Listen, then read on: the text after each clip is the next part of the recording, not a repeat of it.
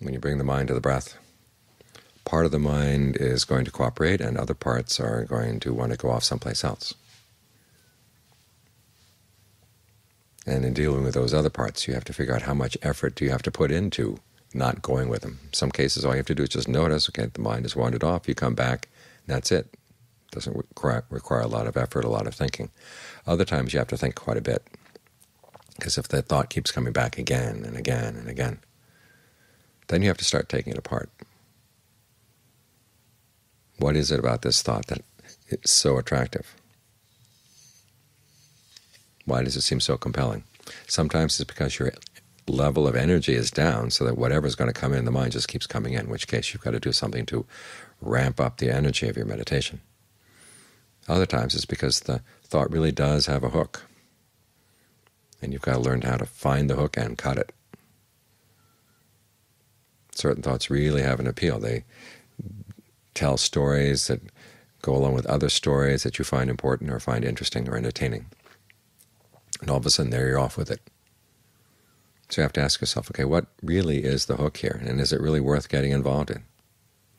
Because many times these, as with a lot of the hooks out in adver the advertising world, if you actually look at it very directly, you see that it's pretty meager. And it's simply because it has a whisper of a suggestion. You go with it.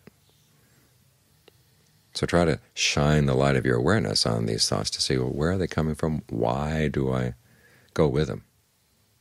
Wouldn't I be better off without them?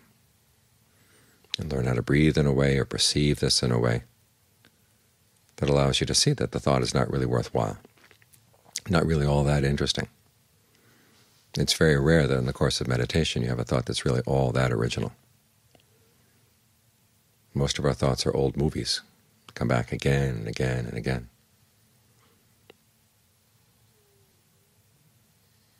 And it's not because they're such good movies that they come back, but there is a hook someplace. So you want to look for that.